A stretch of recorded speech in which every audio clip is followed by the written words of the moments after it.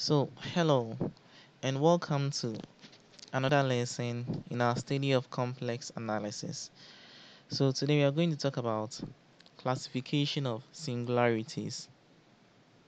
So, how do we classify singularities? Okay, so I'm a final year student of mathematics at KNUST and I'll be taking you through the lesson so please don't forget to like the video, it helps you and you can subscribe to the YouTube channel so that you'll be notified of new videos as and when they are uploaded. So thank you and let's begin with the lesson. So what at all is a singularity? So a singularity is a point at which an equation, a surface, etc. blows up or becomes degenerate and Singularities are also called singular points. So I know the first definition is a bit technical, so let's take a very simple one.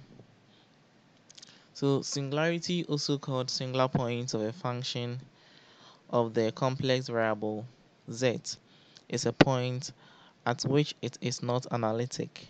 Okay, and we've already treated what analytic functions are, so you should know that, right? So we in a way we are trying to get for like the the, the, the zeros what will make the function not exist okay?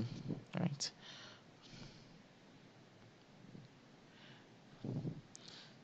so when it comes to classifying our singularities as far as our study of complex analysis is concerned then we have three ways in which we can classify our singularities. So we have one, the pole, and the pole is sometimes called isolated singularities. That's the first one. Then the second one is a removable singularity, and the third one is what we call essential singularity. Okay, so we are going to go through them one by one and solve questions on each of them so that the understanding will become better and clearer. So let's start with the first one, a pole.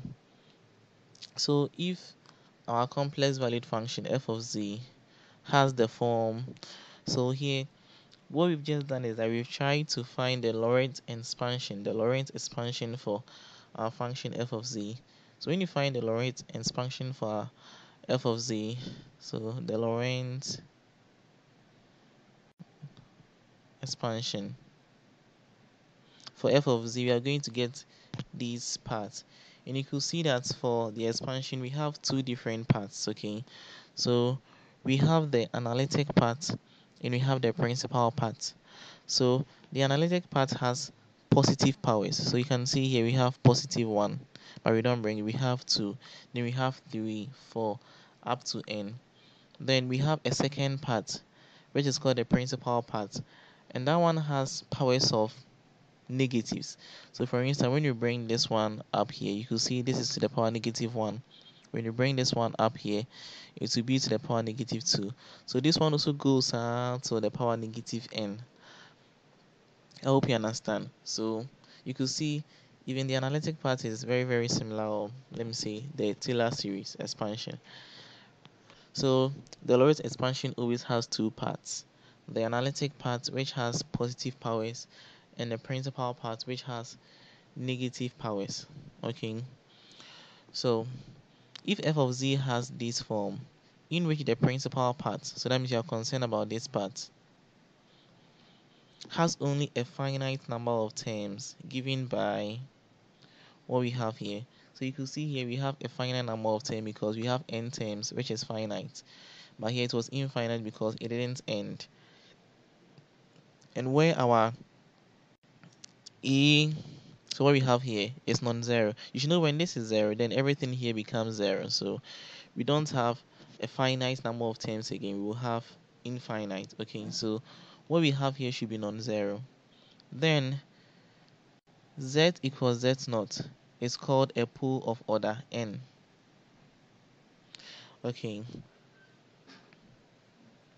So that's the definition for what a pole is So we will try and solve some two examples on what we've done and the understanding become very clear.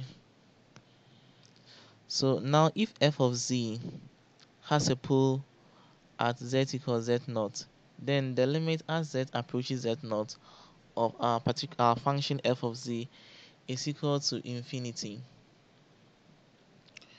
And one thing you should also notice that a pole of order n equals 1 is called a single pole. When the order is 2, that's n equals 2, is called a double pole. Okay.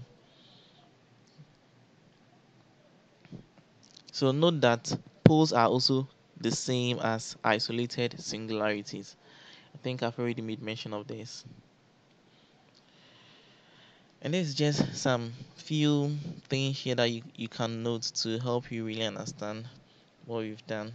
So note that if z naught is a zero of order n for f of z, then z naught is a pole of order n for 1 over f of z.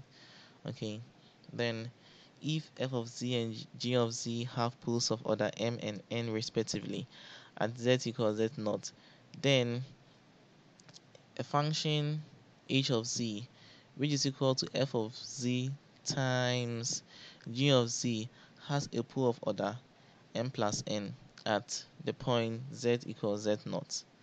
Okay, so we first started what a singularity was, and we could see that when classifying, we can have isolated singularities or their pole, removable, and essential.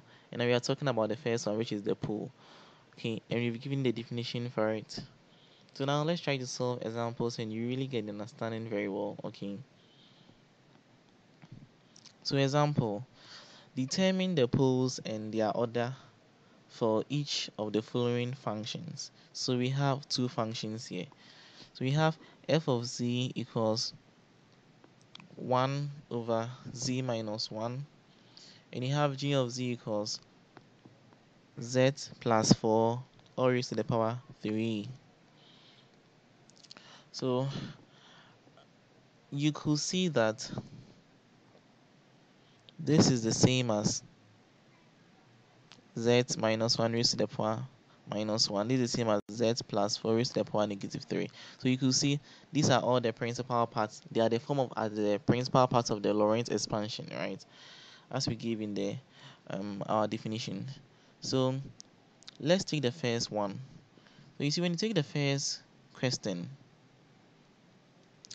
at the point z equals 1, you have 1 over 1 minus 1 which is 1 over 0 and at this place the function f of z is not analytic right?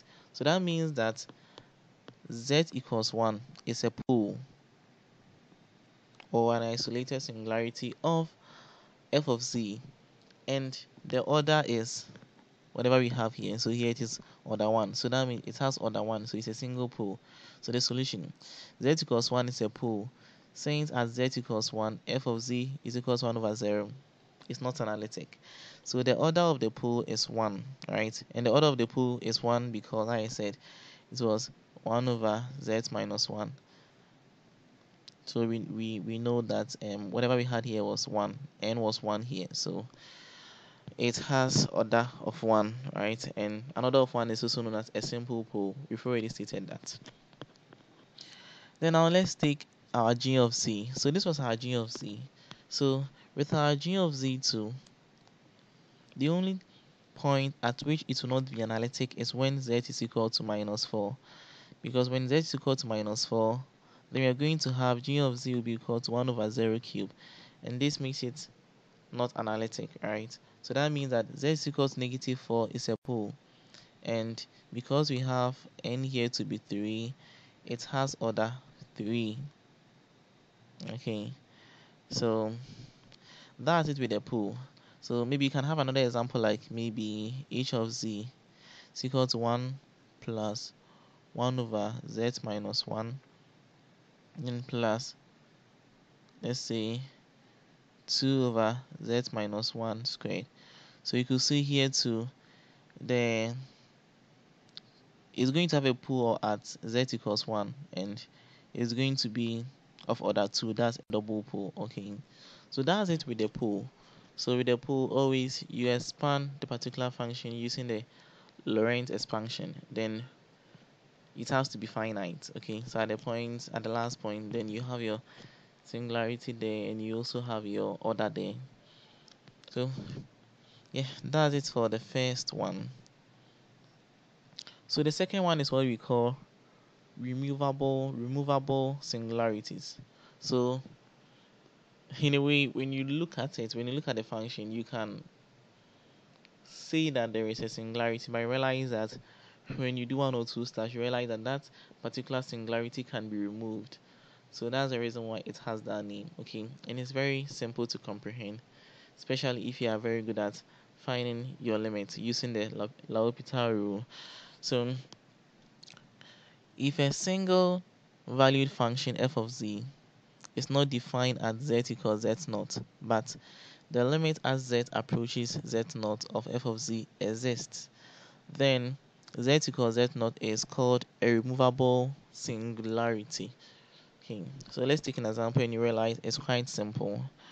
So an example so our f of z is sine z over z.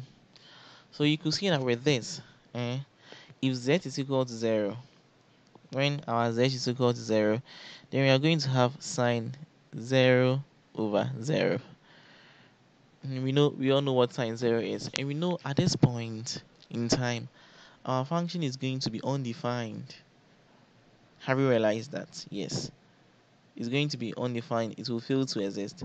But when we find the limit as z approaches 0 of our function we are going to get 1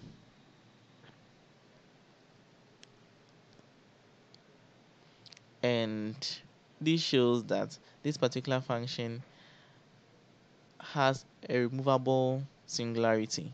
Okay so a quick explanation as to the reason why when you find the limit of this function you're going to get 1 so you know we have limit as z approaches 0 of sine z over z. So when you put in the limit you're going to get 0 over 0 and this according to the L'Hopital rule when we have something like this then what you do is that we differentiate both the numerator and the denominator. So when we differentiate the numerator we'll get cos z. The denominator will get 1 so now when we put in the limit. What the limit approaches so 0 we are going to get cos 0 over 1 and cos 0 is 1 so 1 over 1 which gives us 1 so that's the reason we have 1 here. So that means that hence z equals 0 is a removable singularity. Okay. So from the definition here it's quite simple. So that's the removable singularity. So you you'll be finding limits here. So if you have a control of your limits then this should be very simple for you.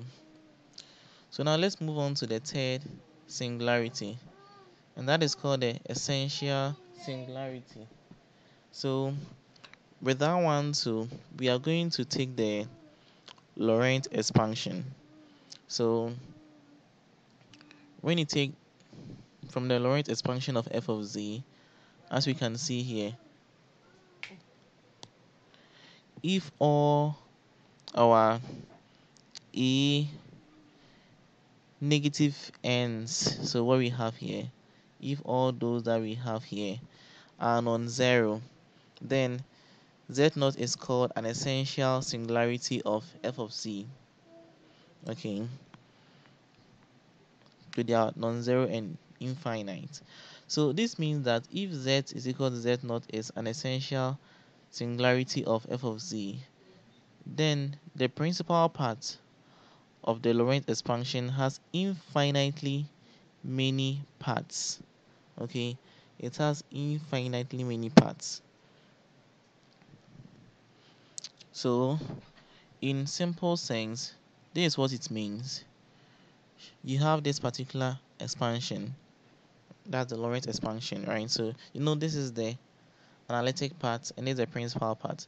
If you take the principal part and it is infinite like it goes uh you know if it is finite then it will be a pole because you know the order. But if it is infinite then that particular singularity is called the essential singularity okay? So let's take an example. So we have this particular function here e then power 1 over z. Okay.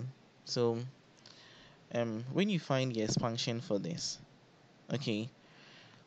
So when you expand using the Laurent expansion, you are going to get 1 plus 1 over z plus 1 over 2 factorial z squared plus 1 over 3 factorial 0 to the power 4 then plus it will go like it will be infinite. So you can see that here we have negative powers. This is when you bring this one up this is power negative 1 power negative 2 power negative 3 and it's continuous. We don't know when it ends. It is infinite.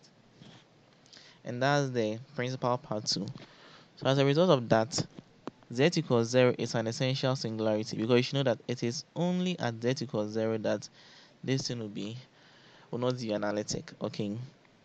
So maybe you might wonder the reason why when you find the Laurent expansion of this you're going to have what we have here so a simple explanation. So I hope you remember the Taylor series for EX so the Taylor series for EX is giving us what we have here. Okay. So if you're finding for that of 1 over x then wherever you find your x you replace it with 1 over x and you are going to get what we have here. Okay. So here we use z instead of the x. So that's how to classify singularities whether it is a pool then if it's a pool you should know the order right? And whether it is removable you'll be finding limits. And whether it's essential. So the essential when you find the Laurent expansion um that's the principal part will be infinite okay? So um thank you very much for um watching this video and i wish you all the best